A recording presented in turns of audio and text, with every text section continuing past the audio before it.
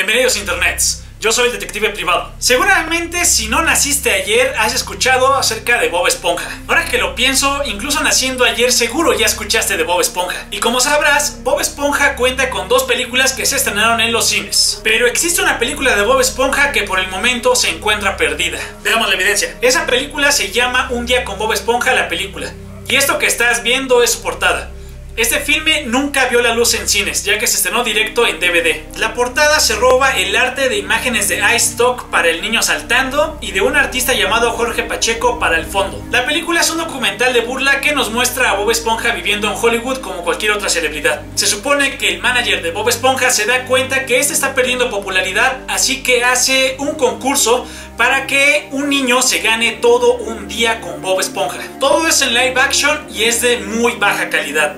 Película no fue desarrollada por Nickelodeon y de hecho no es oficial. Y toda la locura de empezar a conseguir la película empezó porque un usuario de Wiki encontró en el 2014 una publicación en Amazon que vendía la película en DVD. Al no encontrar información alguna sobre esta película en internet y viendo que no estaba disponible en ningún lado, este usuario abrió una página de wiki de medios perdidos. Pero fue un año después que la locura se soltó, ya que una persona subió un video a YouTube hablando acerca de esta película. El tema llegó a Reddit donde muchos usuarios empezaron a buscar personas que tuvieran el DVD e incluso un diario francés llamado La Monde publicó una nota acerca de esta película. Y fue tres años antes, en el 2012, cuando un usuario en Twitter había subido un tweet bastante peculiar, viendo un día con Bob Esponja la película. Muchos usuarios se pusieron locos y empezaron a acosarlo en Twitter, mensajeándole diario y a cada minuto para que le respondiera pero Daniel hasta la fecha no ha respondido nada acerca de ese tweet.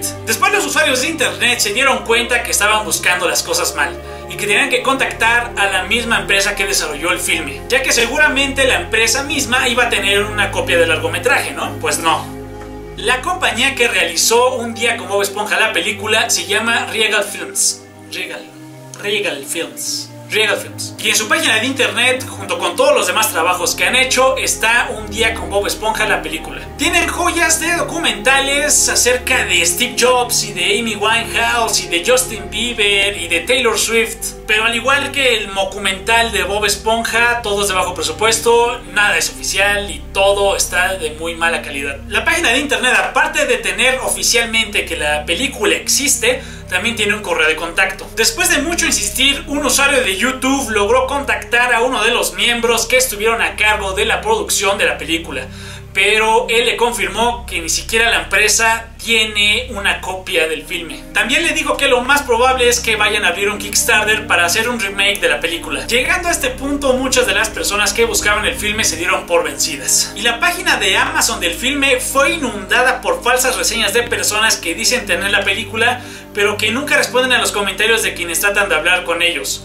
Si quieren ver la página de Amazon de la película, se las dejo acá abajo en la descripción. Pero es justo este año, el 3 de agosto de 2016 para ser exactos, que lograron contactar al mismísimo director de la película. Por razones de seguridad, el director dijo que prefiere que le llamen Mr. Orange. Mr. Orange dijo a quien lo entrevistó que de hecho la película nunca pudo ser terminada por falta de presupuesto y que la página de Amazon solamente se abrió para publicitar el filme. Y después de esto la búsqueda quedó oficialmente terminada pero aún así hay cosas que no cuadran con el testimonio de Mr. Orange. Para empezar, el código de barras, ya que se registró un código de barras para la película, lo cual quiere decir que en algún punto sí estuvo a la venta. Y de hecho la página de Regal Films es una trampa, no la busquen. Cuando abres la página de internet, esta intenta instalarte un virus troyano, así que no te recomiendo que entres.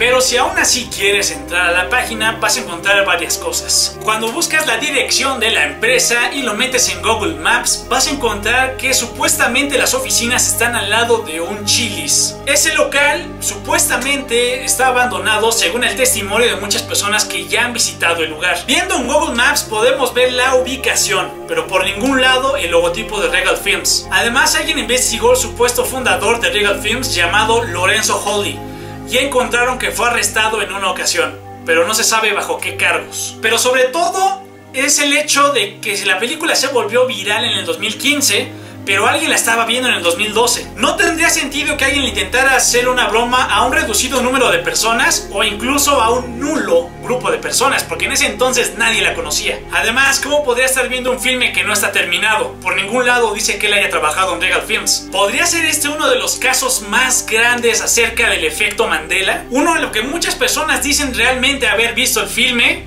pero el cual nunca existió. Lo más raro también es que la empresa parece ser falsa, con su dirección falsa y su página que te instala un virus.